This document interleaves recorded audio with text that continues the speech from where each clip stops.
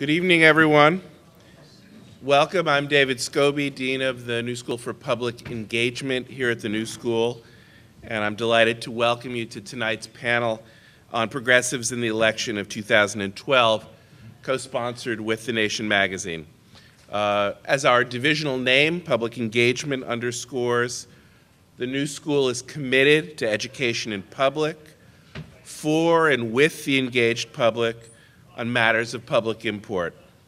Public programs like tonight's have been part of our DNA since our founding in 1919, and our partnership with the nation continues this tradition. In the past three years, we've welcomed our friends from the nation uh, for forums on 9 11, Occupy Wall Street, and other topics. We see them as our civic collaborators in a democracy project where progressive educators, progressive journalists, and public intellectuals all play a crucial role. Special thanks to Katrina vanden Heuvel, the publisher and editor-in-chief of The Nation, as well as her colleagues for this partnership. We value it greatly. Nothing could be a more important issue, of course, than the 2012 election. We're in the thick of it, and as you probably are, and you are all probably processing last night's debate and thinking about its effects on the campaign. I'm delighted, though, that we have an occasion tonight to help us step back from the tactics and microdynamics of the race and help us make a larger sense of the role of progressives in and after the election, and also the stakes of this political moment for progressive politics and policy making. To help us with that, we have a great group of journalists, intellectuals, and political activists. Katrina vanden Heuvel, editor and publisher of The Nation, John Nichols, the magazine's Washington correspondent, Chris Hayes, the host of M uh, MSNBC's Up Close with Chris Hayes, political strategist Ilyse Hogue, and Patricia Williams, professor of law at Columbia University. Richard Kim, the executive editor of The Nation, will moderate the discussion. After our panel discussion, there will be plenty of time for questions and response, and we will have uh, interns prowling up and down the aisles with cards and pencils to take your written questions. The panel is also being broadcast on Free Speech TV and live stream. Welcome to our television and our online viewers. And live stream guests can log on and pose their own questions to the panel. Finally, let me take a moment to give a warm thank you to Peter Rothberg, managing editor of The Nation, and our stalwart partner in these New School Nation events, and also to my colleague Pam Tillis, who always does an amazing job of making our public programming so vibrant. And now, Richard Kim.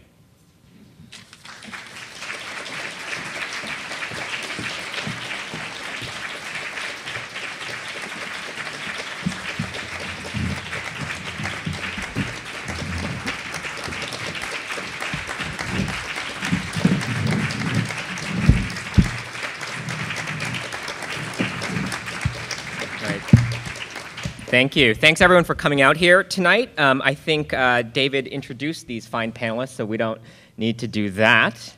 Um, and we'll get right into it. Um, there are index cards that you should have um, to collect questions, and that'll happen in, a, in, in about an hour or so. Um, so let me just give you a little snapshot of where things stand. Um, there are 19 days left until the election. The latest polls show Barack Obama and Mitt Romney in a dead heat. The last time I hit refresh on the Talking Points Memos poll tracker, which Katrina knows I do about once every 16 and a half minutes, um, it had Romney up by 1.1 percentage points. The Democrats have a pretty decent shot of holding on to the Senate. Chris Murphy in Connecticut, Bill Nelson in Florida, Elizabeth Warren, Tim Kaine in uh, Virginia, Claire McCaskill in Missouri, Tammy Baldwin in Wisconsin have all opened up a small lead against their Republican opponents. Um, Heidi Heitkamp in North Dakota and Richard Carmona in Arizona are in striking distance. The Democrats' prospects for grabbing the House, however, are looking a little dismal. Um, Republicans are expected to win about 226 seats.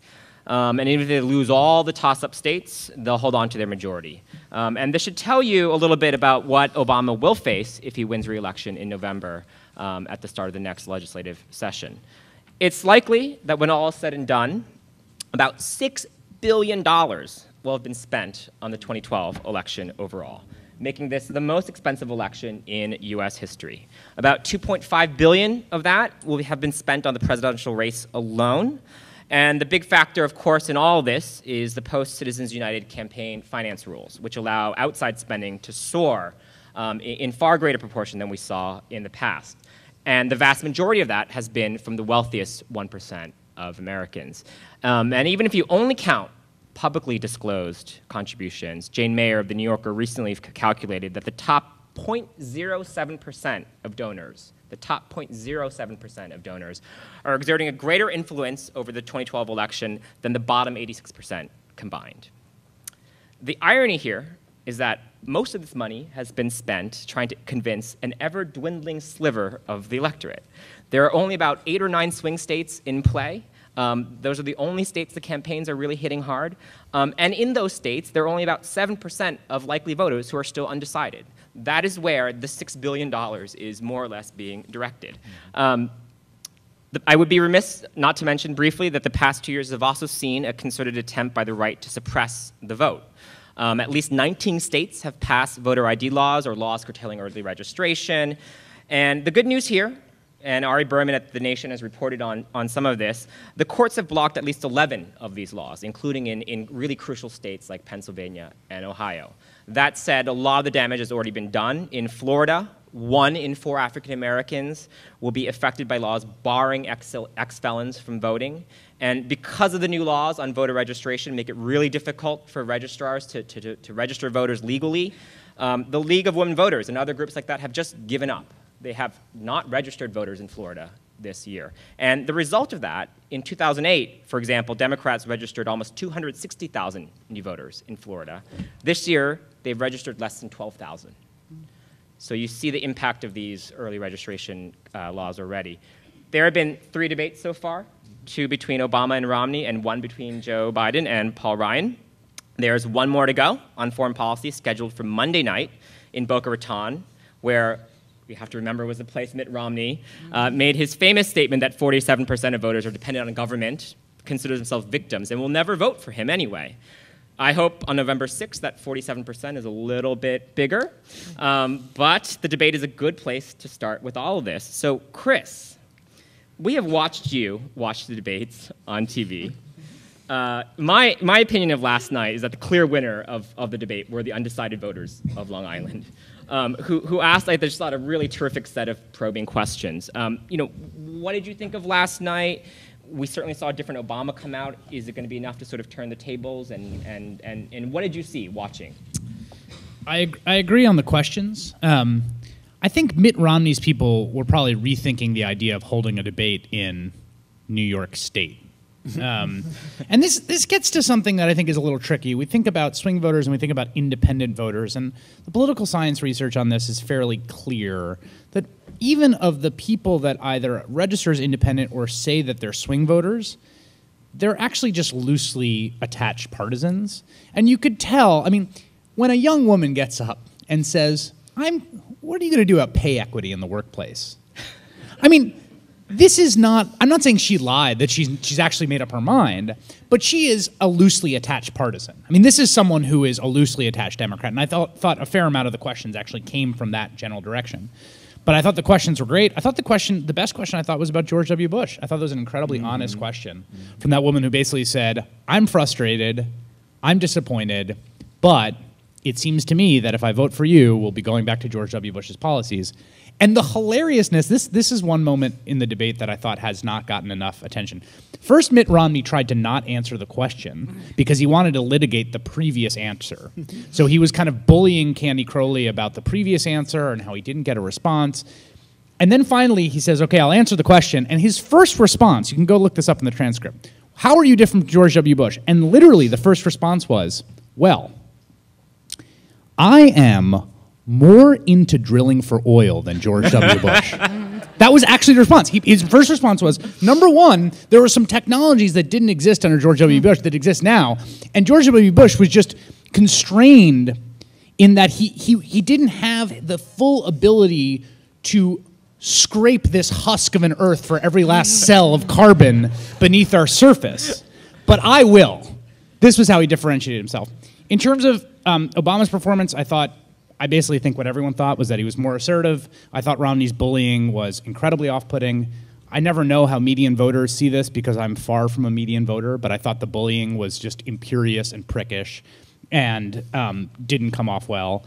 And I think the other frustrating conventional wisdom is right, which is that Romney cleared some sort of acceptability threshold in the first debate, mm-hmm. and whatever polling movement we'll see out of this debate will not be as large as the polling movement out of the last debate because there was a lot more wiggle room in there was more bounce for Romney to get out of clearing a threshold of acceptability than there is from the president in being assertive as he was in this debate.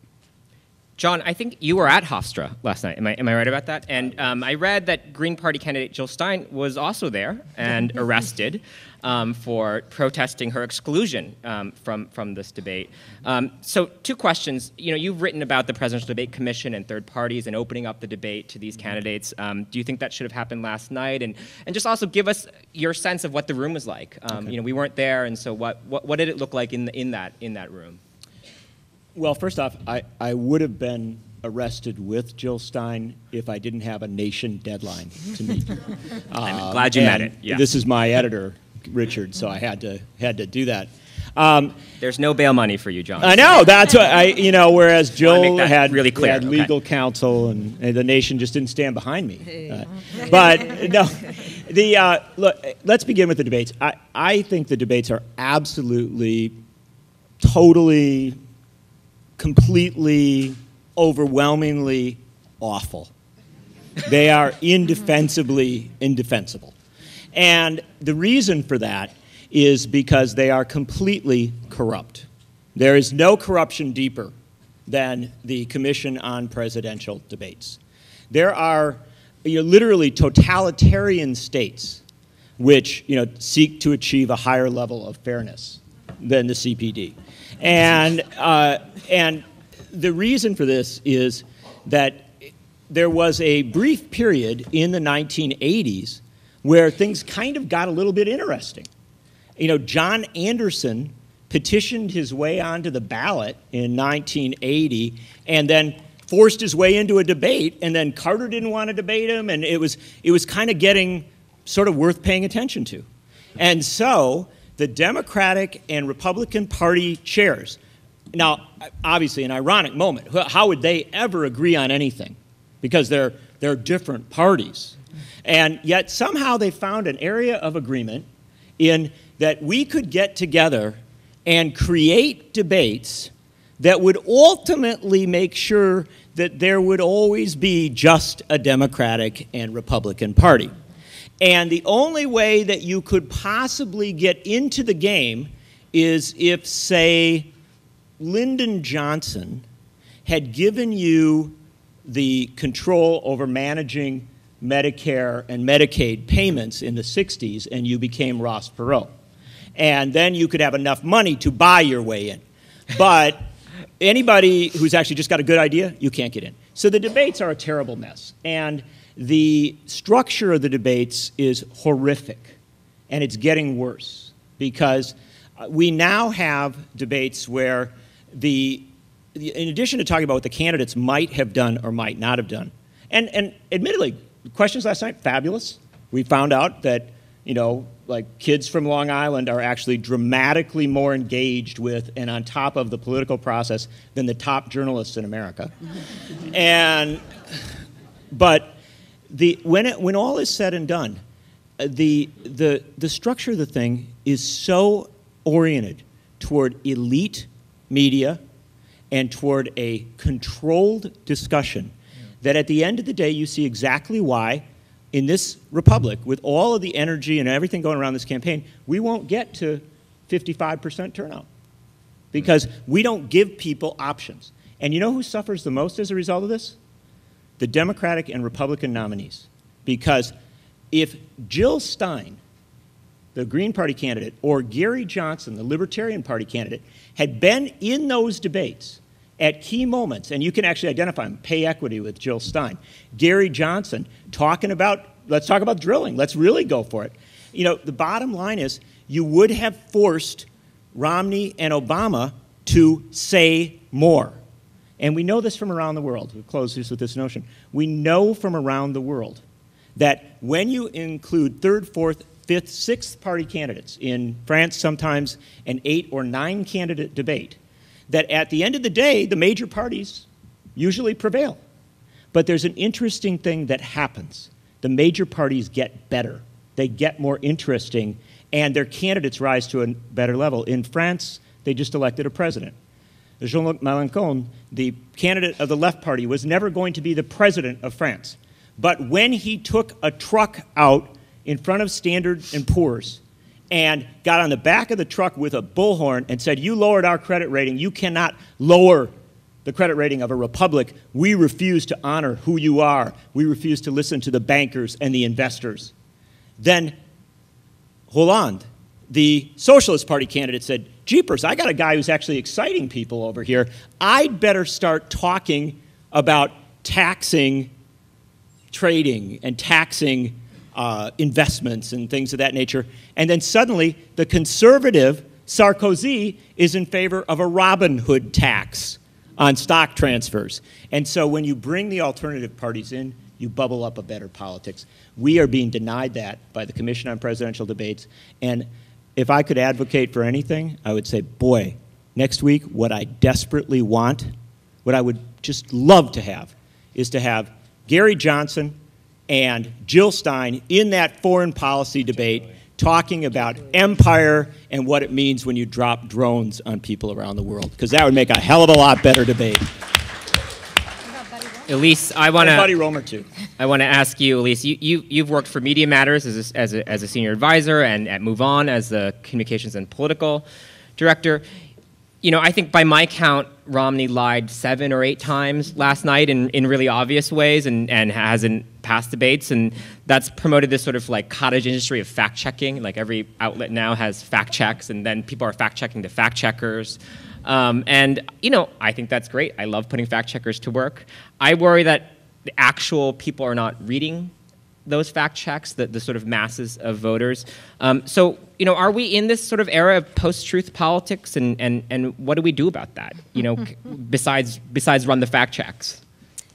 Um, you know, I, I think we all have to recognize this is not a certainty, it's a strategy, right? And it's still to be seen if this strategy is going to be successful. I wrote a piece after the first debate that was titled Lie Quickly, after the time Alan Grayson got up in front of Congress and said the Republican plan for health care was to die quickly. And Romney had lied 27 times in 38 minutes by ThinkProgress's count, and I trust them. But um, and you know what happens when you've got a party whose strategy is just to lie is we create a sense of the president or the Democratic surrogates literally following the elephant across the circus tent, trying to clean up the shit behind him, you know? And that's, you know, because there, is a sense of fidelity to the truth more on one party than the other, um, you uh, put yourself in a defensive position. Um, the fact checkers are challenged by several different things. One is we live in this incredibly fractured meeting, media environment where you can actually find mostly a fact checker to tell you anything you want is true, right? So you, we saw this last night, right? We saw the most amazing moment in the debate last night was when Romney was actually really sure that Obama had not called what mm-hmm. happened in Benghazi an act of terror, and he just his face was to me the analogy for this entire election. Because he had so bought what his own media and his own advisors were telling him mm. that when Candy Crowley did her job, which I thought she did actually almost too even-handedly, but she mm. said, you know, you are eh, no, he did actually. The president did call this an act of terror the second day, but you are right that, you know, anyway, that moment was the most honest moment in the debate because that was the moment that showed that it, it turns into a psychosis, right? When you have everything reinforcing the lies that you're telling and that you're being told, it turns into a psychosis. And that's why, you know, when, when progressives say to me, I can't even engage in the debate because it's it's like I'm talking to a crazy person. We are talking to people who have an entirely different set of facts, and they're told that all the time. Now, the the second piece of this is that when you're spending six billion dollars in an election, the fact checkers have a much, much, much, much, much smaller budget than that, right? and they're also kind of dry, kind of boring, very wonky, lots of numbers, makes you feel like you have to be an expert to be able to parse all of this stuff. I pay the nation fact checkers in pizza. really good pizza, though. So. Billion dollar to dollar that. pizza. And so if you're one of the plutocrats that is bankrolling this election, the return on your investment to bankroll these lies is huge. You have no incentive to adhere to the truth. So I don't I don't want to leave it on a totally dismal note because I think there are ways to break through, right? There's a great new site that Richard and I were just talking about on the walk over here called actually.org. Well, what do they do that's different? They use humor and they use videos that you kind of want to watch because they're funny. Some of them have movie stars, but they're putting the facts out in a way that's really digestible, really short form, really spreadable, right? I sent a video on actually.org today to about 100 friends with a click of a button. These are the kinds of innovations that are going to help to level the playing field. But as long as you can, as long as the plutocrats and, and the, the bankrollers of the election can, can skip over, we're going to be challenged from here on out. And if Romney wins, all bets are off because that will prove that lying pays. So I want to zoom out a little big picture and ask Katrina and Pat, um, who I know have thought very deeply and historically about elections and this election. What is at stake in this election for, for progressives, for our democracy, for our country, and what is not at stake? Huh, that's a good. So Katrina and then Pat. Thank you, Richard. Um, you know, I began my morning at uh, on Roosevelt Island at the Four Freedoms Memorial Park, now New York State's 214th State Park, and I bring that up because there was a lot of talk not only about the Four Freedoms, freedom from fear, freedom from want, but the role of an activist government in pursuit of the common good, an act of, of social justice. And I think that part of what we're seeing at stake in this election is the dismantling, the repeal of the civilizing advances of the 20th century. And I'm thinking here of voting rights, of women's rights, of the social contract, of Medicare, of Medicaid, of Social Security. And I think that is at stake. And they have made very clear that they want to gut this. We've seen in the way they've campaigned. But I also think what's important to remember, and I would quibble a little with my great colleague John Nichols, the debates. I'm not sure the debate commission is the most corrupt commission in the United States or the totalitarian world, but I, I the Supreme Court. I do, but that, I'm coming. I'm coming to that. Uh, but I, I do think that movements, uh, the movements of our time, and this time last year, I don't know if some of you were here, but Richard Kim moderated a gathering to talk about Occupy Wall Street. But I do think Occupy has pushed some questions that might not otherwise be in this campaign and in this debate. Action needs to be taken. So I, I think what is at stake also, and Ilyse wrote about this in an issue we did just a week or so ago, Why Obama, as did Deepak Bhargava, what's at stake is the space that progressives need in which to organize. Think of the advances made in this last year on LGBT rights, on immigrant rights. You need the space in which to organize. And with a Romney administration and, God help us, a full sweep of a Republican Congress, that space is closed down. Yes, you can go work in the states, but you need to have some victories to, to fight for. The other thing I'd argue is if we've already lost if we accept a 40, and I dated 40 because I'm obsessed with this Lewis Powell memo, which you probably check it out, but 40 year right wing assault on our political imaginations, which has crippled our imaginations in some ways because we've been in a defensive crouch. So I think we need to make sure that we come out of this election with, you know, if we, if, if we lose, we still need to lay out a compelling alternative to market fundamentalism and to austerity. We need to fight for good jobs. We need to fight for a different country. We need a de- democracy recovery program, which would not simply make sure we are a poor country of two mainstream parties, but have universal registration, all of, you know, end the electoral college. I would end with the um, Supreme Court. I don't think that progressives have taken the court uh, and the courts as seriously as the right has in the last 40 years. And, we neither has seeing, Obama, in fact. And I was going to say yeah. one thing that we we need to push Obama on is a full court press, not just on the Supreme Court, but on the lower court appo- appointments, and nominating people and fighting for them, and working with senators to fight for good people. But this is not just a court that could decide Roe v. Wade, and the next president could shape this court, and Pat is, knows far more about this than I do, not just for four years, but for 40 years. Four justices are over the age of 70. And it is on the social issues, but it's also become a 1% court. It has impeded women's access, for example, in the Walmart Discrimination Act. It has tried to gut the ability of organized labor to organize. It has shielded financial institutions from accountability. And of course, it has made corporations its very best friend in a decision that is, we are witnessing as you listen to John, Chris, Richard, and Ilyse describe the money polluting our already polluted political system. So I think the court is at stake in a very serious way, and that we should not lose the political intensity gap race. Uh, so, th- you know, those those are my thoughts. If I could, yeah.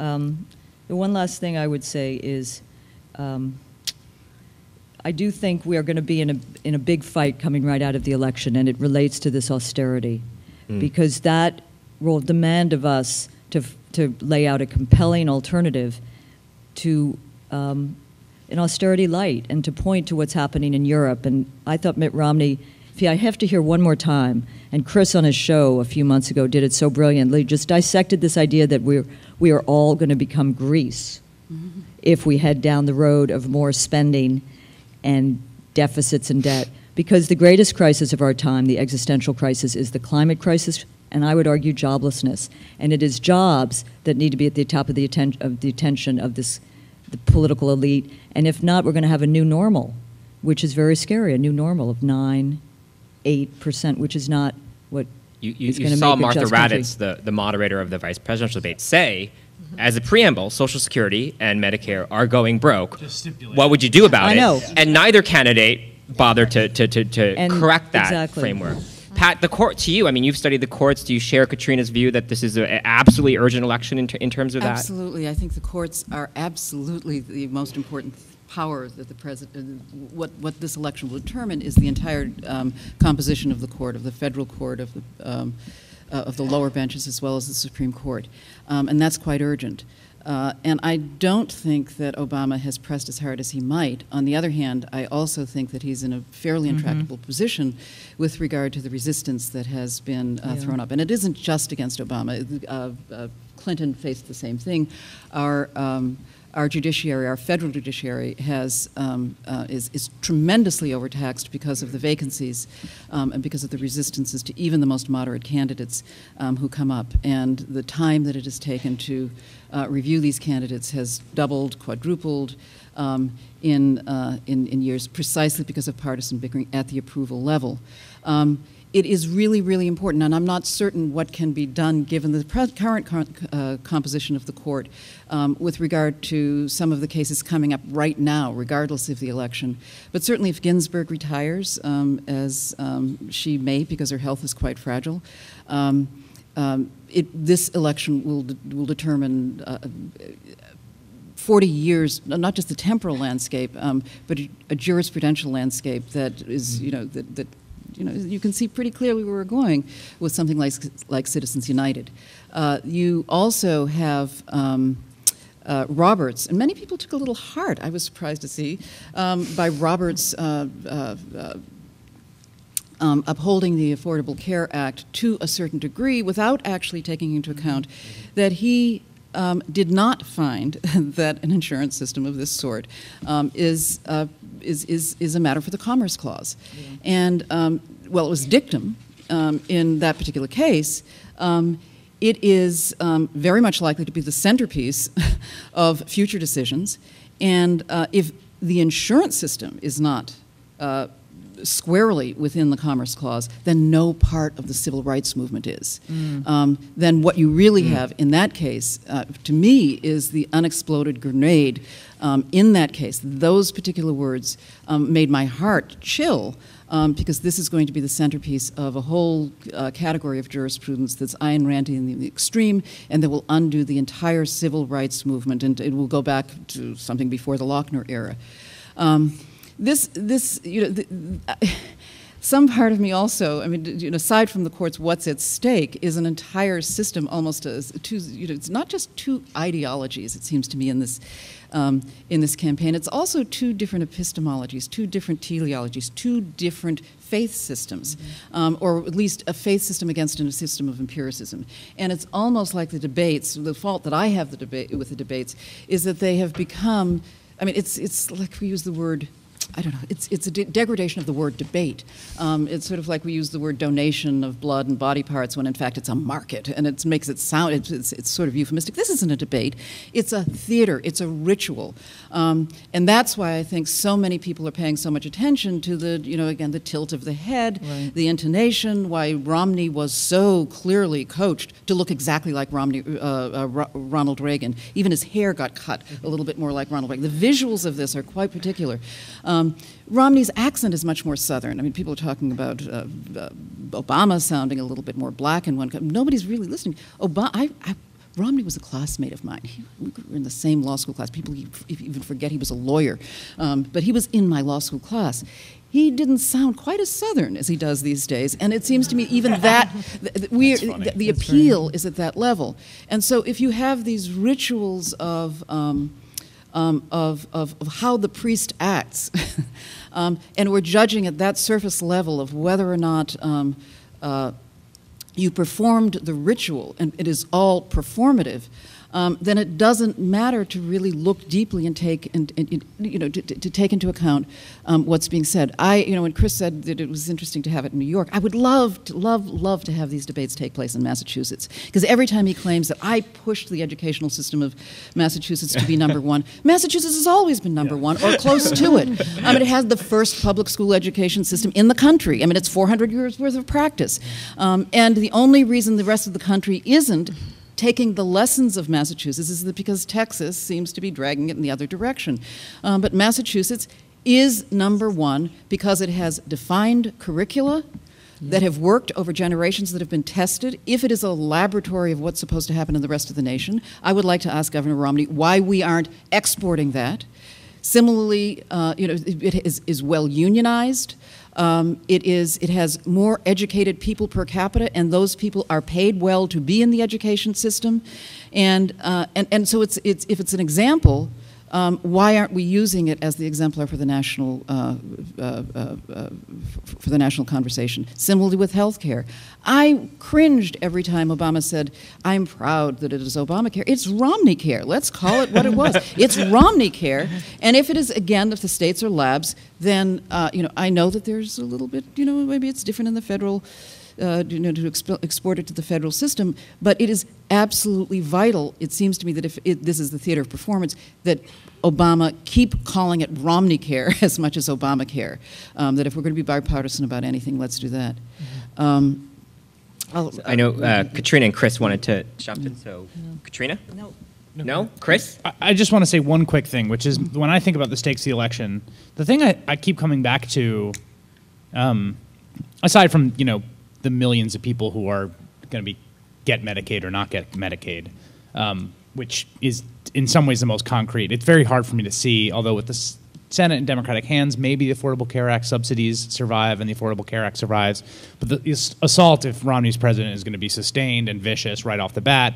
And people are going to start throwing folks on Medicaid. The people that are going to get thrown on the sacrificial altar first are the poor. That that's that is going to be the bargaining chip. It's much easier to start trading away Medicaid stuff than it is Medicare and Social Security. The the entitlements, the social insurance for the the middle class and seniors is much more politically difficult to go after. But the Medicaid stuff and the subsidies, which are the two things, the linchpin of getting those 30 million people into the system, 15 million of those are Medicaid, 15 million of those are subsidized. That's going to go first. But aside from that, the, the one thing I'll say is the reputation of liberal governance is on the table more than anything.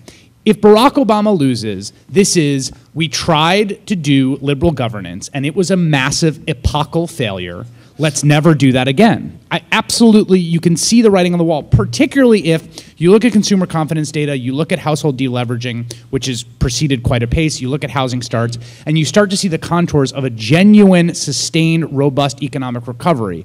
If there is a genuine, sustained, robust economic recovery that comes on the heels of the election of Mitt Romney, this will be a historical declaration of the failure of the Recovery Act, of the failure of national social insurance in, in the Affordable Care Act, of the failure of everything that the center left and the Democratic Party and liberal governance stands for as having killed the economy, as having cost jobs, as having stood in the way of, the, of, of, of, the, of America becoming itself in full entrepreneurial flourish, and that a recovery under Romney will be seen by the elites, by the chattering classes, and by historians, I think, who are going to fight this battle about the legacy of this, this period of time as a final kind of rendering of history's judgment on the project of liberal governance. And it will be extremely, extremely difficult politically to recover for that from, for a generation.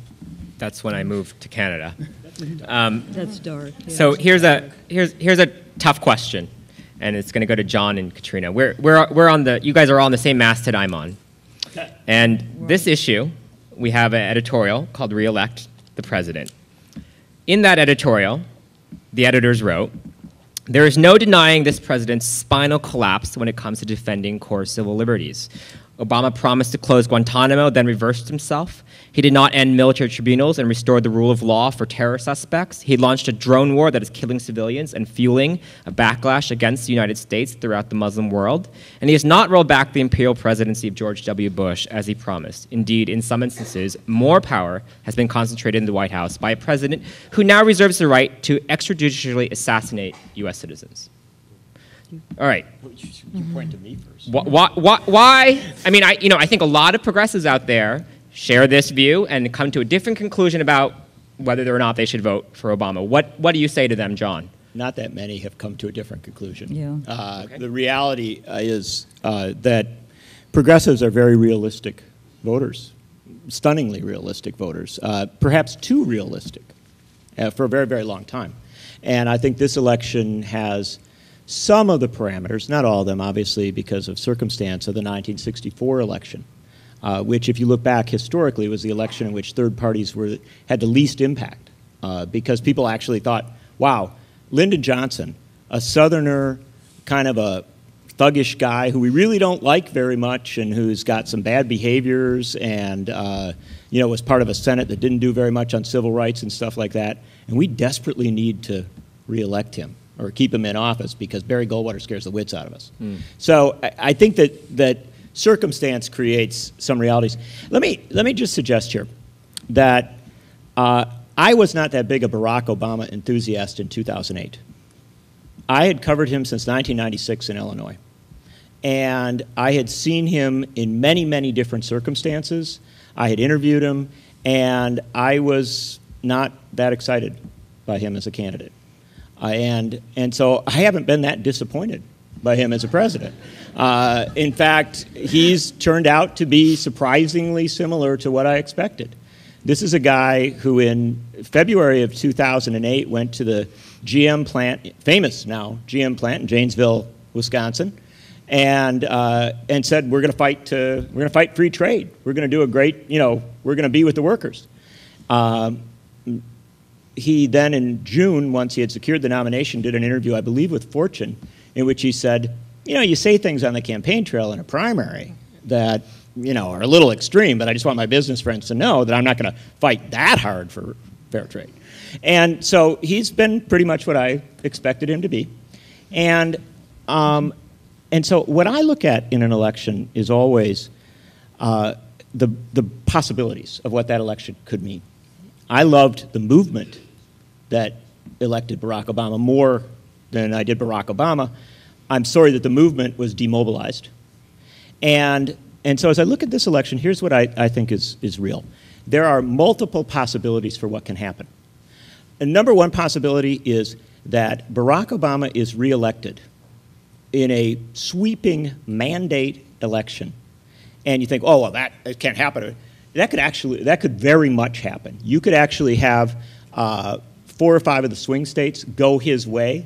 If you just follow the polling, Arizona flip, Nevada flip, Colorado go. Uh, I'm just going to read your polls from now What? on, John. I'm, just, I'm No, only no, no, subscribing to this RSS these feed. Are, these are, if you go to Real Clear Politics today, you Yeah. will see polling that shows that possibility is very, very real. It would not be a popular vote one, but it would be an electoral college very significant win.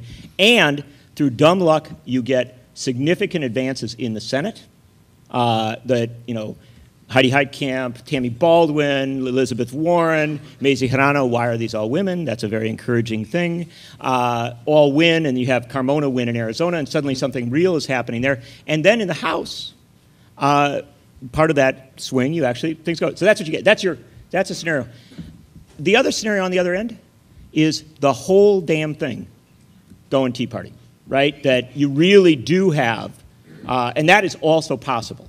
And then the most likely result, which is we end up right in the middle with Barack Obama and a Republican Congress, and we have just spent not six million. I find your your romanticism very lovely, but ten to eleven billion dollars um, to get exactly where we started. And, and so I think these are all possibilities. In that context, what I would say to progressives is use your conscience, vote for the best possible result in that context, the best thing you can get. And, and I'm not going to ever tell somebody not to, you know, it's not my job to tell you who to vote for, but I would say that for me, it's not that hard to figure out because I want the, the left wing of the possible, as Michael Harrington said, and then a little bit more. And so I'm going to vote as best I can to get there. And if uh, we stumble along the way, as we often do, so be it. But I'm sure as heck, having come from Wisconsin, right, where people said the 2010 election maybe didn't matter that much. You know, Scott Walker seemed like a kind of okay guy. Um, and we lost in 2010 Russ Feingold, and we ended up with complete Republican dominance of our state legislature and our governorship.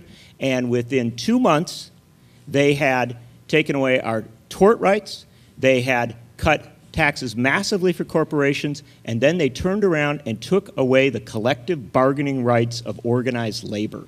And so, with all due respect, I don't want that happening in America. Yeah, I think I think the states are a really compelling look at what a Tea Party governor would look like federally. Katrina, I, know you Rich- wanted to. Ri- Richard, I would just, you know, the, the editorial, and I will say here, I regret that it, we, it ended up being titled "Reelect the President," um, because I don't know. It, we can discuss how that happened, but uh, I think it was it- my it's a far that- Yeah, what, what was up with that? it's a far more nuanced editorial. shade. It's a far more no, nuanced editorial, but um, it is, um, and it's really the idea is that listen, electoral victory is vital. Obama's win, Sherrod Brown, Elizabeth Warren, but th- it's not sufficient to rebuild a strong progressive politics. But to the question of the kind of foreign policy, national security policy we've seen, I see William Hartung here who knows far more about this than I do. And I think of last night, the politics, the politics of the national security debate, which we will be forced to watch more of on October 22nd, are so troubling, Horrifying. horrifying, wrong. And you saw that in some way just politically last night. I mean, not only did Romney lie about Obama saying it was not a terrorist attack, but then he went on about Obama's apology tour. I mean, you know, that's just this meme which is full of lies. But you know, uh, what we're what we've witnessed, and just let me stand back for a moment, is that this country is still at war. And at times of war, and Pat knows more about this than I do, this country has jettisoned civil liberties very quickly. During World War II, during World War I, during Vietnam to a large extent, the Korean War. And until we come out of this global war on terror, which the president doesn't speak of, but is still governing according to that premise, hmm. we will not sign a treaty on any battlefield, which has not really ever happened in this country's history, and we will be consigned, as Justice Brennan said in an extraordinary speech in Jerusalem in 2006, to live with the erosion of civil liberties. Because until we can balance, find a balance that European countries have in dealing with terrorism, with national security crises, we are consigned to this kind of politics. Now, someone mentioned LBJ. LBJ was not the first African American president. LBJ, in conversations we now know with Dick Russell, Senator Russell, was fearful of being called soft on communism, even though he knew we needed to get out of Vietnam. We are still living with being soft, soft on terrorism. And President Obama is operating in an environment where I think Chris and I heard this. He should have shut down Guantanamo day one. He did not anticipate the political blowback, nor did he, nor did he then expand and expend the political capital he could have. The drone war, you know, we got to fight it. I will end by saying there was a peace and justice movement in this country. On, in 1982, again, uh, during the Cold War, which, by the way, I don't think is over, but in 1982, there were a million people walking in Central Park in this good city to call for nuclear reductions. We still need those. We need a sane nuclear nonproliferation policy, and we need a foreign policy and a national security policy that is not hyper militarized, which to some extent both candidates are buying into because that will not deal with the great challenges of our time, whether it's climate crisis, global joblessness, nuclear proliferation, epidemics. I could go on. But the editorial, in the end, we stand by, and I think it does speak to what John suggested that you have to both speak up and speak out, but you do so from an understanding this is a president who can be moved, can be moved. And again, what's at stake? Mitt Romney's policy appears to be one of wanting to go to war quite quickly with Iran if he had the opportunity and to bring back a set of third rate, fourth rate, fifth rate neocons who would take us back to the truly failed policies of a different period. And I end, we're ending a war in Iraq. I don't think it's fully ended. We're ending a war in Afghanistan, which should be ended more quickly. And we should find ways, as our correspondent Jeremy Scahill has written, to find ways to extricate those, those uh, Blackwater private mm-hmm. contractor forces and end. I'd like to hear this on October 22nd. Why do we have 800 bases ringing this world when we're closing libraries, schools, and universities and find a way to bring that money back into our country? Pat, did you? Yeah. Yeah, I, I, you know, for me, the question isn't really, you know, who am I going to? I don't see this election as just about one individual as against the individual. It's who I want to be in charge of the USA Patriot Act because I think that that's also a big elephant in the room. It's very hard to read. I mean, the USA Patriot Act is, you know, what I teach my students. We have the Constitution, and on the other hand, we have this utterly unreadable, endless document that revokes almost everything um, that has to do with security, I mean, survey, uh, you know, privacy um, in the name of security, um, surveillance, um, extraordinary powers of rendition, of, of, of, of, control of the monetary system in particular. Um, and nobody reads, nobody has read it. It's just really very hard because the entire uh, uh, piece of legislation is amendments to other acts, and it goes on for 800 pages like that. Um, but it is the counter constitution. Um, so when I think of who's going to be the president, the executive is also an executive of that piece of legislation, and it's terrifying. Mm. Um, the second thing that I'm concerned about um, is that Romney really is a libertarian in the Ayn Rand sense. Paul Ryan gets all the credit for that. Um, but if, again, looking at what he's done in Massachusetts, um, he is effectively the same kind of libertarian. Um, he believes in the military, he believes in the police power, and he doesn't believe in much else. And he keeps touting himself, I know how to get things done. As a businessman, he knows nothing, apparently, about the law, law degree notwithstanding. And it came out most forcefully, I thought, either as hypocrisy or ignorance, one take your pick, um, last night when he talked about um, women and uh, you know the, the big binder full of names that he was going to get. Um, and basically, what he did was he endorsed affirmative action as it actually operates in the world. Um, he endorsed affirmative action as it is up for de- uh, determination before the Supreme Court right now, which is that, you know, well, you know, we don't have any women here. Let's find some names and let's put them before. That's what affirmative action is. That is a really, That is- really great point. Yeah, no, it is exactly what's what's at stake in the action. Fisher v. Texas case, and he basically bought into it. But he doesn't seem to know that that's what affirmative action is, because it's become so compressed into the lie that affirmative action is choosing people who have no qualifications. And when you say go out and get some women with qualifications, you know it's you know we there's a, there's a way in which the right wing has pitted women and minorities against each other in the discussion of affirmative action. If you notice, Grutter, all of the affirmative action cases in the last 10 years were really mm-hmm. part of a, of a campaign to put women up, because if you had a white man, it wouldn't be the same. But these are women, and so, but, but in fact, the jurisprudence is the same. So if this gets struck down, we can't have women either. And, affir- and, and, in, and in Massachusetts, Romney it, um, eh, abolished uh, the Office of Affirmative Action for the state of Massachusetts. Um, he did exactly the opposite. Of the women that he got the binder for were from a women's activist group in response to his. He didn't actually. Yeah. Yeah, he was given Yes, it. yeah. they were pushed it on him. Um, but his embrace of this now um, is either the most peculiar kind of, um, you know, contradiction, or it is ignorance. One or the other. Um, I'd much rather have what keeps being referred to as derisively as, as the professor in this. Now, at the same time, when John talks about um, not being surprised, I too was not surprised by Obama's uh, co- course. And I do think that this expect- expectation that he was going to be Jesus Christ and Ma- Malcolm X and, uh, you know, Muslim and, uh, you know, the, the, the, the the progressive, you know, and a socialist. I mean, he was. There were so many wild Yeah. expectations, projections onto him. It, it, that even in this election, I'm very concerned that again, this this sense of emotional truth of, about each candidate um, really obscures the fact that he was always a center candidate. He was head of Harvard Law Review, which has never been ever called a radical organization. Um, he was a Ch- University of Chicago law professor teaching very conservatively. Um, and that all got obscured, I think. And you know, and when we th- it, it, we seem to have embraced emotional truth as our as our as our guiding star in all of this. And you know, my sense of emotional. Remember when James Frey used that term, and you know, and Oprah said.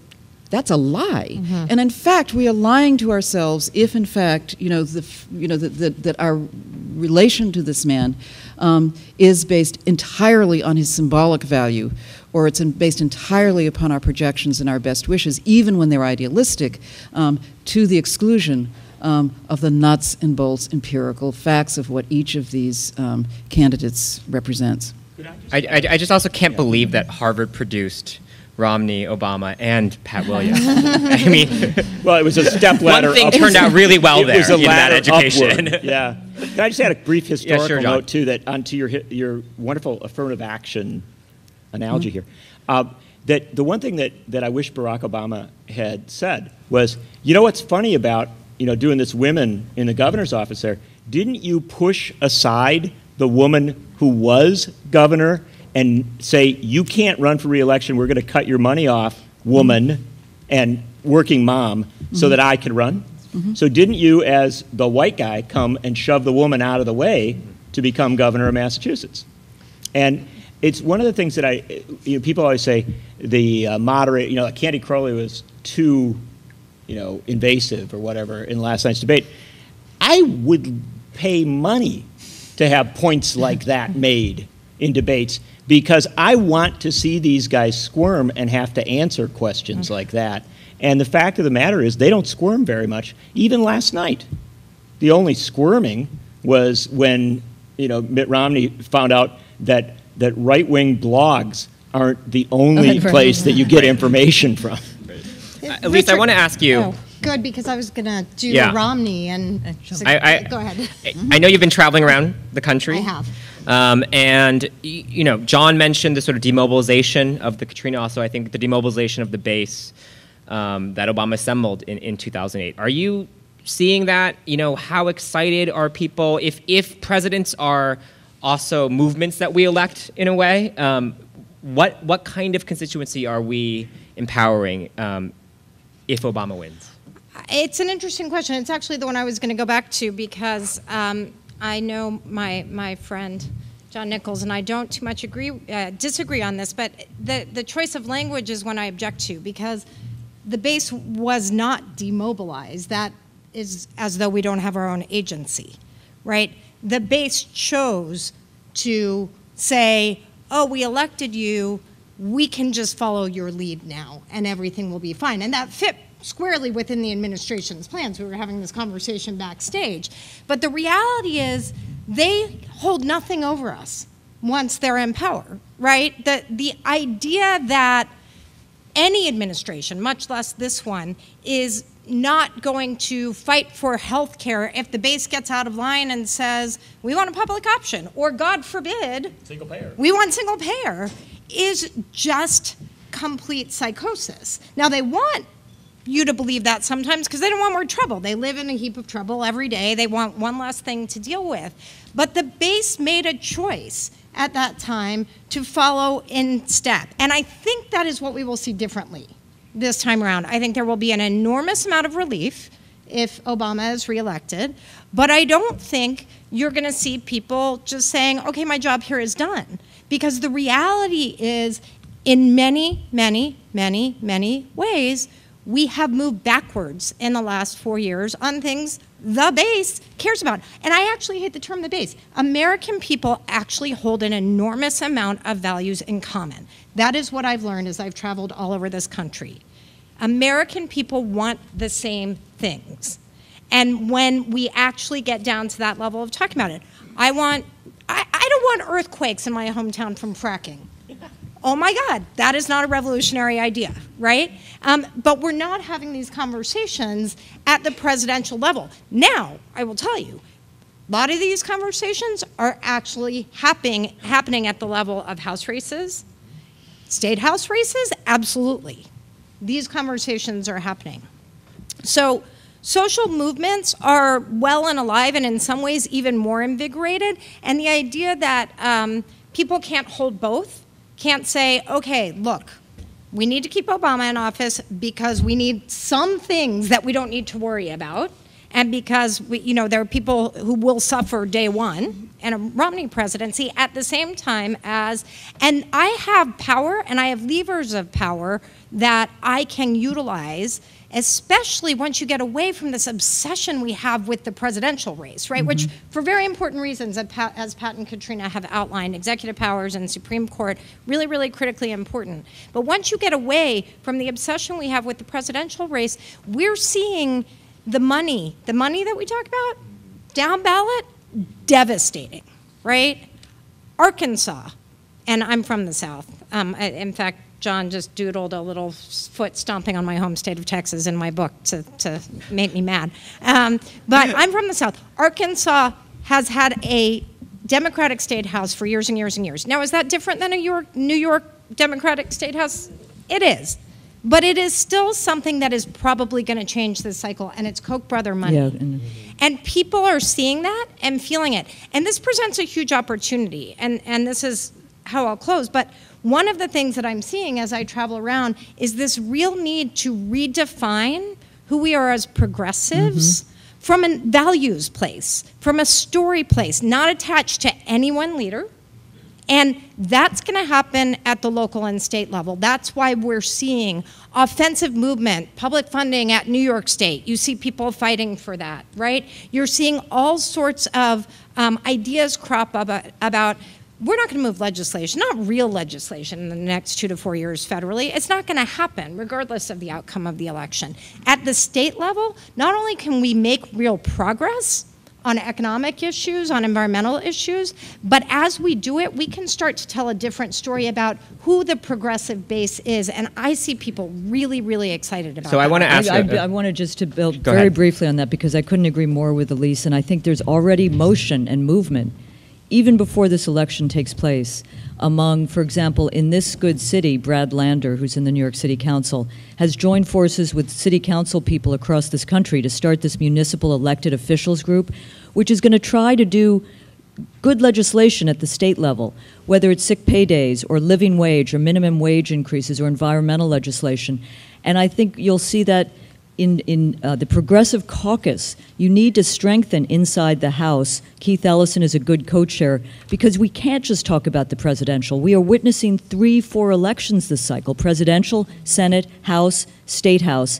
And as Ilyse says, it's gridlock inside the Beltway, so we need to build outside and deepen the bench. Deepen the bench. There's a group called Progressive Majority working with others, trying to run two, a thousand candidates. These are not just people from the elite of the Democratic Party, because I do think what's up for redefinition after this election is not only liberal governance, as Chris mentioned, but the Republican Party may go through an extraordinary soul searching, which I mean, I'm not feeling for their soul much, but they are going to go through soul searching. And I think the Democratic Party will as well. And what is the Democratic Party?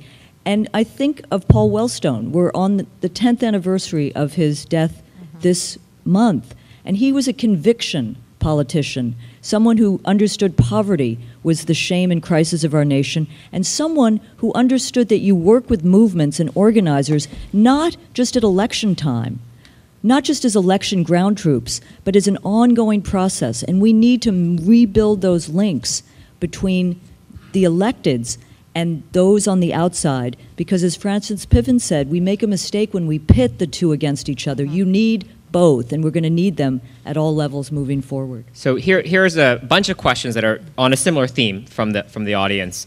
Uh, so let me let me try and you know phrase these sort of together.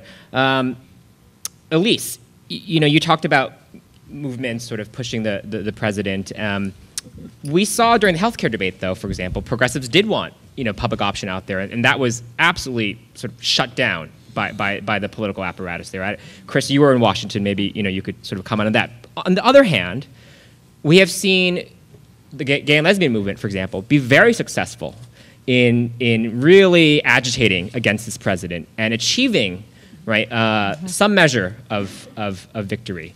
The same thing with the Dream Act and the and and also the Keystone Pipeline. You know, when Bill McKibben and activists surrounded the White House, that that made a difference in their decision. So questions here: you know, What should progressives do after the election on November seventh? What movements, right, we're going are going to be activated around this? What should we sort of target as the most important thing? So I'll tell you, as someone who was in the, th- I was at MoveOn during the healthcare fight, and, and as someone who was in the thick of it, um, the thing that we did wrong in the healthcare fight, and this was actually mainstream progressives, this was centrist progressives, was the same thing that the it was the same flawed theory that the administration plays by. We, if I could go back, I would push resources towards single payer groups because what we did was make the public option this crazy left idea, which it wasn't. It was an incredibly centrist idea. Now, if you look at the trajectory of those issues and how they played out right after the election, energy came first, right? No better finance movement. In fact, the, the Enviros will admit to have spent, spent 200 million on the climate change energy bill. Um, I think it was probably closer to three or 400 million. What'd they get? They got two guys on stage last night who did, spent 10 minutes on energy talking about who was going to drill more and didn't utter the words climate mm-hmm, change, mm-hmm. right? Mm-hmm. Healthcare fight came along. We did we we said and what the Enviros didn't do, they got in lockstep from before the the the bill dropped and it gave away stuff to coal and the Enviros said, "Don't talk about that because we need this bill to pass and we're going to get cap and trade if we all stay together." Right? Got nothing. So we said, okay, we're going to carve out the public option as it, that that was part of Obama's plan, but we're going to really push for that because we know we need this one thing. We had no, we had nothing further from the spectrum. So we, Obama, who constantly wants to move to the center, we just made the center more to the right for him, right? Hmm. So this is the dynamic that we are facing as a movement is that when we want to get behind our leader on the things that he said he's going to do during the primary and sometimes in the right until the fortune magazine we actually let's be benevolent here we do him a disservice That's right. we do him a disservice. So We cannot make that mistake again. And you know what? Maybe I believe in single payer. I mean, maybe I believe in, in public option. And, and many of our members genuinely believed in public option. We've got to educate our members that unless you've got the single payer folks out there screaming their hearts out and chaining themselves to the White House, like a lot of the LGBT activists and Lieutenant Dan Choi did, then your hope of single uh, of public option is going to go poof and evaporate into the air. November 7th, I mean, we better not wait. But mm-hmm. November 7th, we better start screaming as loud as we can that it's about jobs, mm-hmm. not austerity, and that Social Security, Medicare, not broke, not bankrupt, total lie, right? Total lie. And we've got to do that with every single issue. And we've got to actually recognize that the people that don't agree with us because we think they're more radical than us, they're actually our best friends. And the more platform we give them and the more space we give them, or us, depending on where you are, um, the more progress progressives are going to make. So, Chris, to you, you were in Washington for a lot of these fights, and you're a student of the Beltway. Where, what are the most important things coming up, and also where, where do we have some leverage? Where are the openings, perhaps? The biggest opening in, in a world in which Barack Obama is reelected and he wins um, Nevada, and even if he doesn't win Florida, um, and Arizona is close, and Mitt Romney performs at the level that John McCain did among Latinos, um, th- there is a real problem for the Republican Party. Obviously, everyone knows this. This is not some novel observation that the country is becoming less white as the Republican Party be- continues to be um, Grumpy and white. dominated by white voters. Um, and so they are worried about this, the smart ones are. And the only, and I actually don't think there'll be any soul searching in the party. I think actually there'll be, I, I don't see any incentives for it except on this one issue. Amongst the Republicans? yeah, I think if even if the Republicans Because their souls are in Horcruxes. They're sort of split up into seven No, little I shards. just I actually Difficult. think no, I actually think I just think the I just think the activists I think a big part of it is the activists on the right have done a really good job of what Ilyse just said. Right. They just they they don't like they've primaried the heck out of every everyone. Mm-hmm. And they'll just come and cut your head off. They don't they don't care. They boo their Like who are you, Ro- Bob Bennett? You're a senator from Utah who voted Get the hell out of here. I don't want you. And you some establishment Richard Lugar, who you know makes nice on nuclear non. Get out of! Here. I don't want you. Like they've just been really badass about just being lethal to anyone who is not with them on everything.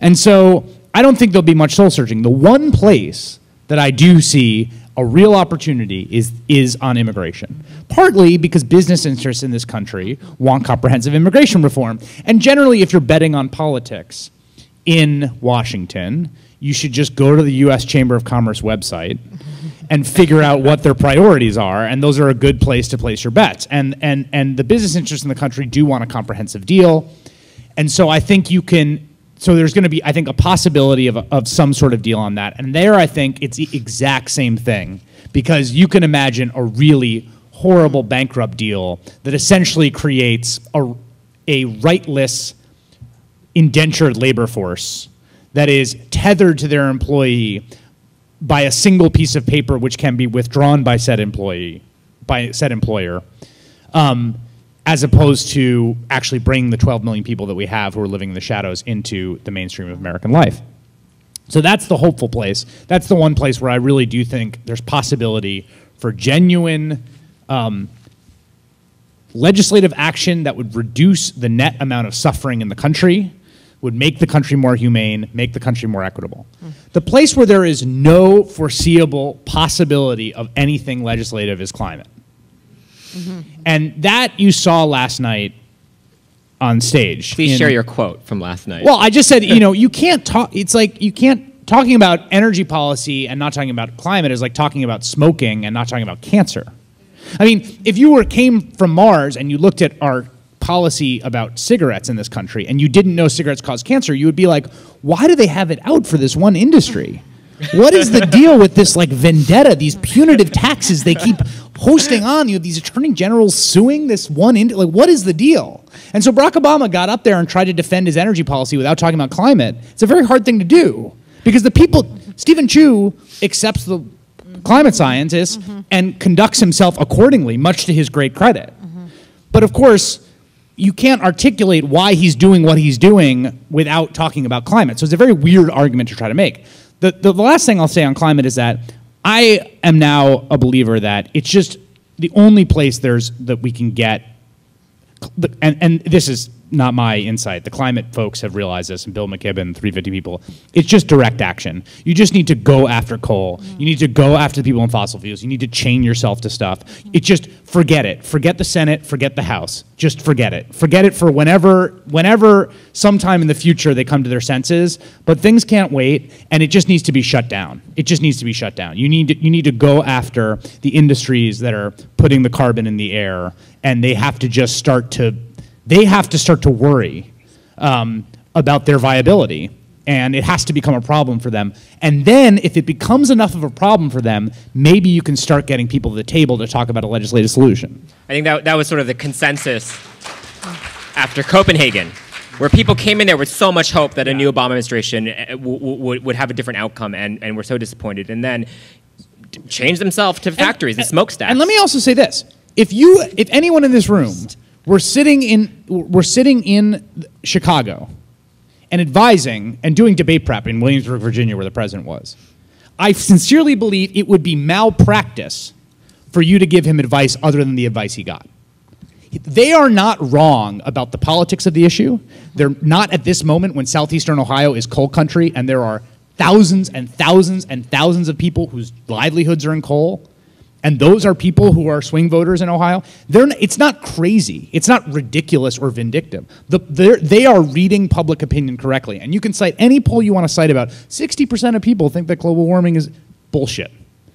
It's a, it's a difference between preference and intensity. If you are working in a coal in coal in coal country in southeastern Ohio, then you care about whether coal is going to be there. If you're someone who calls gets some pollster calling you from Ipsos and you say, "Yeah, yeah, I worry about global warming," you don't care. You don't care. That's the problem. Is that there is this asymmetry between the people for whom this is an intensity issue, this is life or death, I will do whatever it takes, and the people who will tell a poster, pollster, I care about this issue. And the only way to solve that asymmetry is for the people on the other side of that ledger to say, this is a life or death issue. I care about it that much. So here's, here's another question from the audience that um, hasn't really come up, at least in this way, in the debates. And um, Pat, you're an educator, so maybe I'll throw this to you first, but anyone else can jump in. Both parties support neoliberal education reform, uh, vouchers, charter schools. How can progressives push back on this? Well, I mean, I, I don't, I mean, that's, how can one push back on this? Um, Or is, is that a is that is that a big problem? I mean, is that is that the Oh, no, I think stupidity is running rampant, and I, I think that education has been so um, cut and, uh, and, and is so endangered um, that uh, you have a large percentage of the population, of the citizenry, which is um, undereducated and misinformed. Um, I disagree a little bit. I mean, I agree entirely, and you know, it was, I, I agree very much with what Chris just said about the um, uh, the climate change issue, but I also think that um, there was a slight underemphasis on the degree to which people simply, if they don't, if it isn't that they don't care, they say they care, but they just also don't know what's at stake.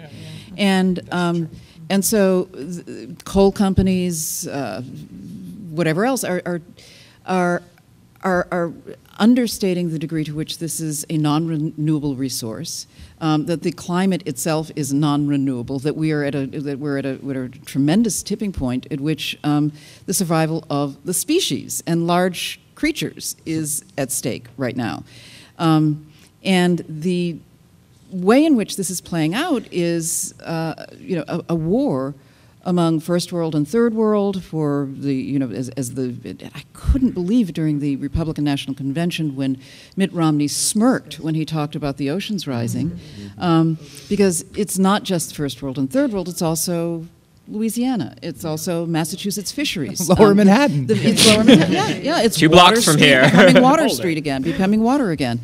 Um, and uh, and it seems to me that the um, that that part of the lukewarm response to this incredible crisis has to do with religious fundamentalism on the one hand, and I think that that's an enormous, a much larger problem than we sometimes take into account.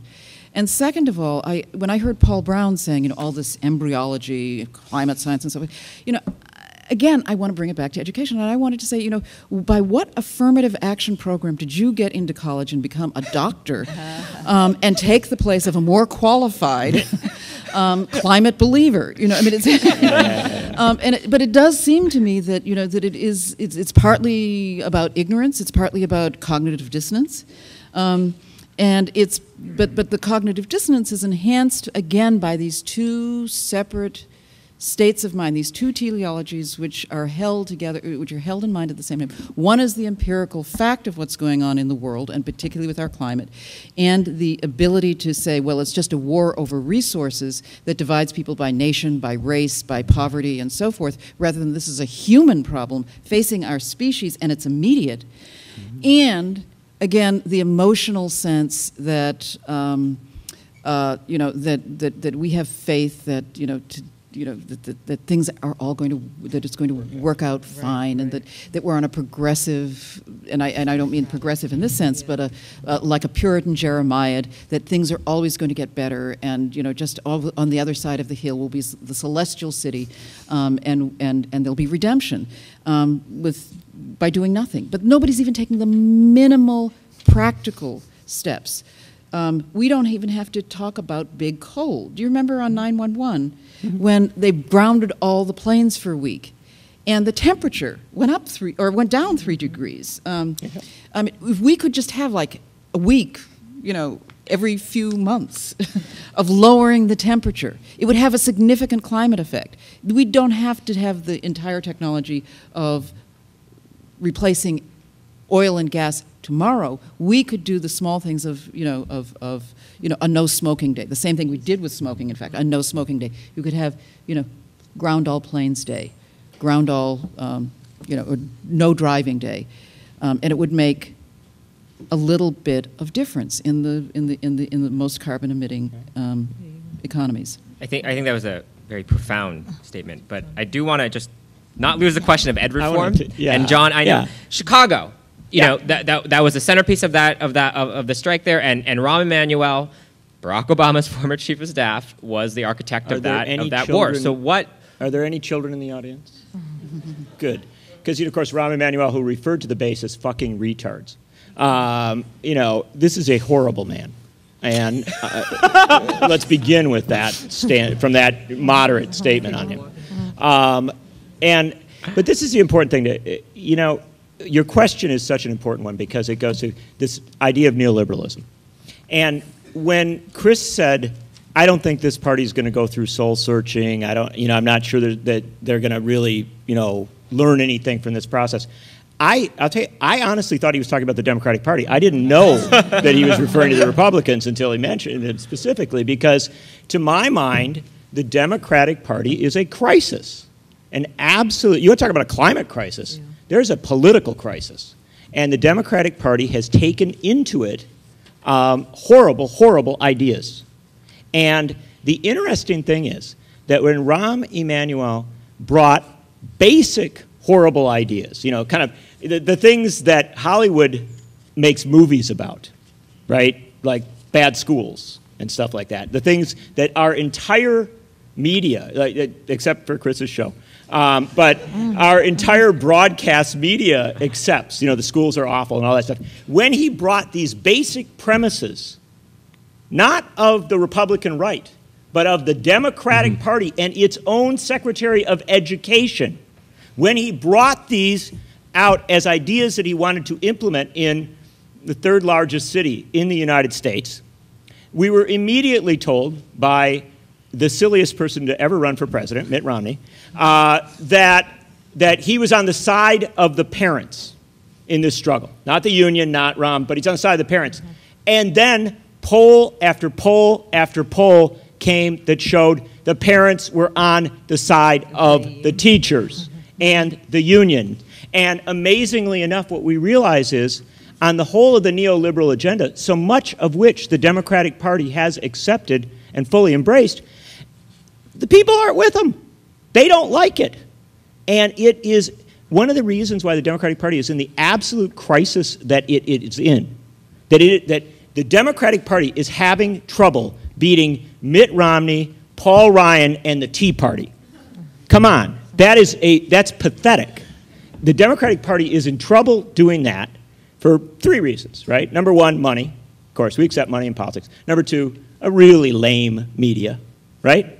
But number three, the Democratic Party doesn't stand for exciting enough things to trump money and media. It actually compromises so horribly that it has to be taught on the streets of Chicago how wrong it is. And so I'll close off with just the simplest concept here that we're going to have an election on November 6th. And, uh, you know, it's like the Woody Allen film, right? Where the two women are sitting in the automat. And the one says, The food here is it's horrible, it's, it's, a, it's, it's inedible. And the other woman says, Yes, in such small portions. And this is the Democratic Party at this point. And so a lot of people in this room are going to vote for the small portions or for larger portions of that. But what we ought to do, what we ought to do is be furious, furious and angry at the Democratic Party for offering such narrow and unappealing choices.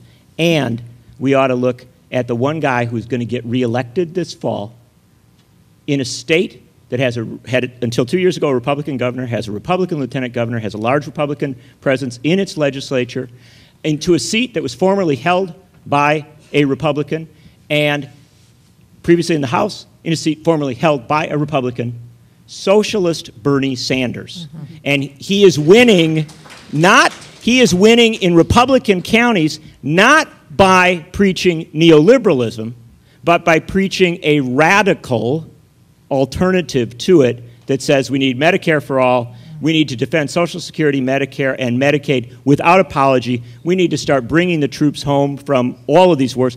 And we need to amend the Constitution of the United States to say that corporations are not people. That's what the Democratic Party should be running on. It would be getting a lot more votes. So, Chris, I know you wanted to weigh in on I- John's excoriation just- of the Democratic Party. just- but John, I will cede to no one in contempt for what's happened to the Democratic Party over the last 40 years. But I do think, and we've had many talks about this. Come on, it's not just Bernie Sanders. There's Sherrod Brown who oh, wants to limit and break up banks. Elizabeth Warren is entering the Democratic Party. We can't individualize it, but we can give support to those who, for example, put out a people's budget, which is essentially the nation's budget. It's not mm-hmm. just about defending Medicare, Social Security. It's strengthening, and the financial transaction tax passionate about it. Robin Hood, you know, let's tax the banks and the speculators, bring some of that money back. So there are people. We just need to strengthen those people as we open up our system to more voices, both electeds and outside. I- I think, but I think that the, the, the CTU strike, A, I think the CTU strike is instructive because the CTU was like, I don't care if you're a Democratic mayor. Mm-hmm. Right. Like, mm-hmm. don't Don't mess. come at me, bro. Like, let's do this. And and they were right. And and so that's part of it, right? It's like the, this is the lesson, right, from the common purpose mm-hmm. table, which was this the the White House, you know, getting together Yep. progressive groups, being like, don't come at us, bro. Yeah. And that was not effective. The other, very quickly, I just want to say that I, I think there's extremely promising developments in education policy insofar as this paradigm dominated completely unchallenged for about for since basically the No Child Left Be- Behind Act was passed till about now. The national conversation was entirely dominated by one way of thinking on both parties about mm-hmm. standards, teacher accountability, teachers' unions are terrible, yada, yada, yada. Mm-hmm. And there has been very good pushback. And, and, and, and there is a coalescing, growing number of writers and thinkers and people in think tanks and organizers and the teachers' unions themselves and parents of teachers and, and parents of students and students themselves. There is a growing um, movement in opposition. There really is. It feels stronger and stronger. And the CTU strike, I think, was a was a, a watershed moment for it. But it's it's only getting stronger because the fact of the matter is, this is a classic experiment. We've been running the experiment. We passed No Child Left Behind a decade ago, right? Let me let me offer one other positive example. So, absolutely with Chris as movements. Don't don't tase me, bro. Uh, as movements, we've got to challenge the people in power, even if they're Democrats, right? The Tea Party's famous for booing the Republicans. The first thing, they didn't have to open their mouths, they just booed the Republicans. But there's a flip side of this, right? Which uh, Katrina and I have discussed an enormous amount, which is as social movements, we are actually experiencing a crisis in credibility with people who aren't already part of our movements because we keep going along with the Democrats, right? And so part of that is militant action where it's appropriate. But the other part, we're seeing now AFT, American Federation of Teachers, is doing one of the most radical things I've seen, which is they have gone into one of the poorest counties in West Virginia and they've said, you know what? We know we can't teach kids who don't get a good night's sleep because there's holes in their roofs and, and, and they don't have enough food. And so we know that. But we're going to be vilified anyway. So they've gone into this poor county, they've done public private partnerships with food providers, with social service providers, with job trainers to get the parents into the schools and get job training. This is what it takes for progressive institutions to rebuild trust with folks who have lost faith because we keep saying, hey, vote with us and the government's going to take care of you, right? We're progressives. We believe the government should work for people, but you know what? It ain't right now. So until we get out there and put our money where our mouth is, not only does that actually say to people, you can trust me, stick with me for the long haul, and we'll get this system working again, but it also creates a better platform to then go to DC and do the advocacy because it's shown hey, you know what? These kids that you said were dumb and these teachers that you said couldn't teach them, look at how these test scores went up. Look at how bright they are because you know what? We got them food. We got their parents jobs because poverty's the problem, not education and not teachers. I want to ask. Um, we're gonna have one one final question, and then I'll let you guys sort of weigh in with their, with your, with your last thoughts. But several people asked this, so I wanted to get this in. Um, women are 52% of voters, But we're a minority. um, and even if you're in binders, you know. Um, so so why is there a war on women currently brewing? And why aren't Democrats in the government addressing this more aggressively? Are they ignoring it because women traditionally vote Democratic anyways and they know they can't lose those voters? I, I saw a poll right before this last debate that Romney had actually eked ahead of Obama amongst women voters, which is just sort of like political malpractice on the, on the Obama campaign's part to me. But what, what's, what's fueling this, this, this really, really radical uh, you know, war on women's rights and, and what are the Democrats doing or not doing about it? I mean, this is not. I don't. I mean, this is not. This is not new. Uh, we've seen in state after state limitations, restrictions on abortion rights. I think it has, in the same way, the debates over the role of government over taxes have become proxies over issues of race and demographics. I think we're seeing the war on women as a proxy in some ways for control of the family, control of institutions that Republicans feel are slipping away. At the same time, as you point out, Richard, it took feminist action, it took social media and younger women, for example, to push back very hard against what we saw with Susan Komen Foundation, attempts to defund Planned Parenthood from that angle, to really push the president to get contraception into the health care plan and to stand up and understand hey, there may be more women than bishops in this country. Um, but it's going to be a long struggle because it's, we don't have strong allies in the Democratic Party. And as Ilyse wrote, I think very astutely, after the horror of Todd Akin's comment, which, by the way, we now know Paul Ryan feels the same way. He signed on, co sponsored the bill with Todd Akin on redefining rape. But as Ilyse pointed out, all of these kind of horrific statements by Republicans or actions like the transvaginal ultrasound, we fight those, we think we win, but then they've moved the goalposts. In the same way, our politics are moving to the right, and we're operating on that field when we should be pushing back very hard. I hope. I, I think we need to build a base of uh, not well. I think we need to build a base of women activists to strengthen them, to strengthen the ties across race, across generations, to uh, fight back, and to push the Democratic Party hard because it's going to need pushing on that front, but also to understand that. Um, you know, the Republicans have have. Um, let me step back. I think the the main thing we can do right now is I do think President Obama last night was smart, and we need to link women's health rights, the control of their bodies, to the economic security of their lives, and to be very clear that women's issues are everyone's issues, mm-hmm. and to fight on that front because everything that the Republicans want to dismantle and the Democrats may not be defending in strong enough terms relates to women. Who is most effective by the privatization of Social Security or the voucherization of Medicare or the block granting of Medicaid? And to drive that home very clearly, in my mind, is the most effective way to speak at this moment and to force the Democratic Party to stand up and speak, speak more boldly. A, a stunning moment in last night's debate was when uh, a citizen asked about assault rifles. Um, oh yeah, that was a which, which that was, was, a, which was a great which was a great question. A winner, a winner for and the answer for Mitt Romney was single mothers. Yeah. Guns don't families. kill people. Single moms kill people. No, but it also essentially the it also precipitated a hilarious free associational five minutes between both candidates, neither of whom wanted to talk about guns exactly. at all. So they were like, uh, "What do I got? Uh, single moms, single moms." Uh, but you know what's what's bizarre about that? What's bizarre is that if you watch the interview where Paul Ryan uh, actually shut the interview down in Michigan, he didn't want to answer any more questions from the guy.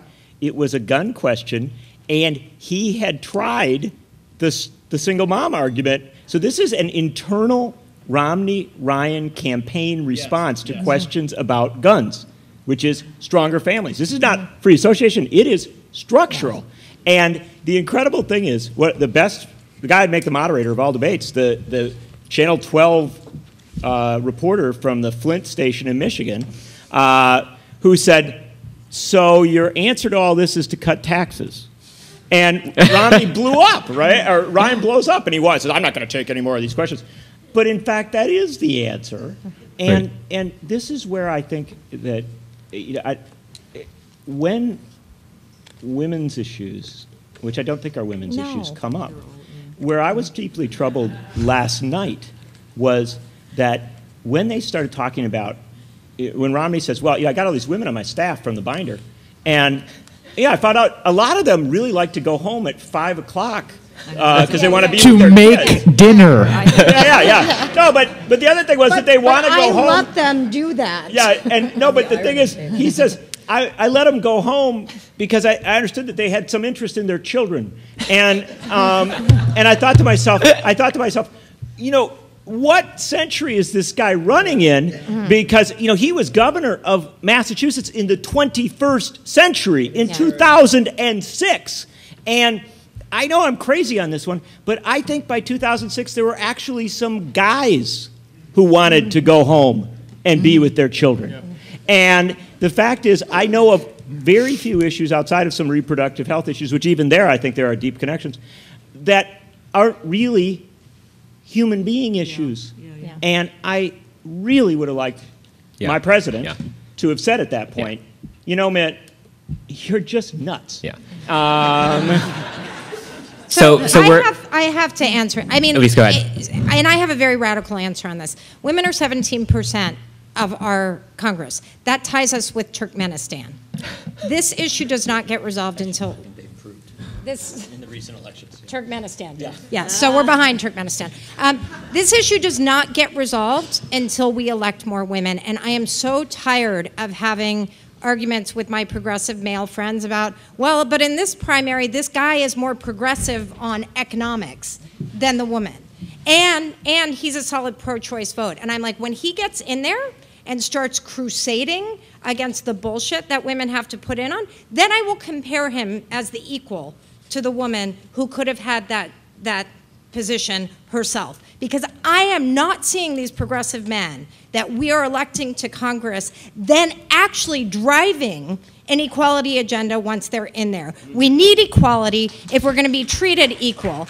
And here is my very tangible piece of advice for you. If you care about this issue, do not give money to the DCCC because you know what? They're raising money on the war on women and they're going out and funding anti choice Democrats to get elected. You can play in those races, or we can get a majority without those Right. seats. But do not give money to organizations that are going to raise money on your issue and then spend it to, on someone who opposes your issue. So just like last night, we're about 10 minutes over, uh, and I just I want to get you know final words from Pat and Chris because they haven't they haven't weighed in lately, and, and anything 19 days left.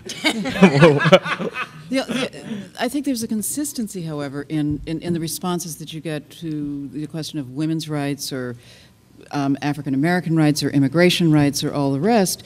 And it, the, the answer that, you know, it depends upon strong families um, comes up in every one of these debates guns, anything else, because it is an ultra libertarian response. Um, and that it, it's, the, there is no government, there is no role. And so the only thing that protects you against a nasty, brutish, you know, uh, jungle of, of, of, of life is the strong family and your little herd, the little herd, the little tribe that you create for yourself. And so that is the rational response within that particular system of thought. And it really is helpful in these times to read Ayn Rand's. Um, she wrote a book called The Theory of, of an Epistemology of, um, of Objectivism. And it's a small book.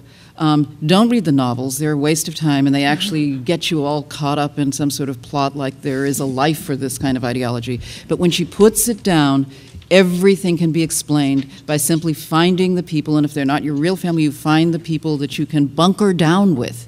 Um, and so the bunkering down is the response to absolutely everything. But that bunkering down is also a denial of the collective um, public resources, of the res publica, of the common good that includes the funding of public schools and the funding of public health, and the um, and and the funding of even the Commerce Clause that under that under um, um, the entire civil rights movement. All of that is at stake um, in that response. Um, that well, you know, just get together, and the more of you who, who can get together in a household, um, the more money you'll have, and therefore you'll be able to buy more guns to protect yourself. I mean, that's what that response is about. I think this is a great place to end it tonight. Thank you, everyone. Thank you, panelists. Thank you, audience, for coming. We'll see you here for our next event. Thanks.